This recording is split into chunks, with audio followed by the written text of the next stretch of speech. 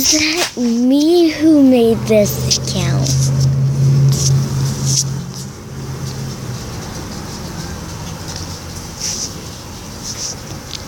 I'm not sure, but I looked up littlesoftbunny6 in another account. And it showed mine that I'm using, and then this.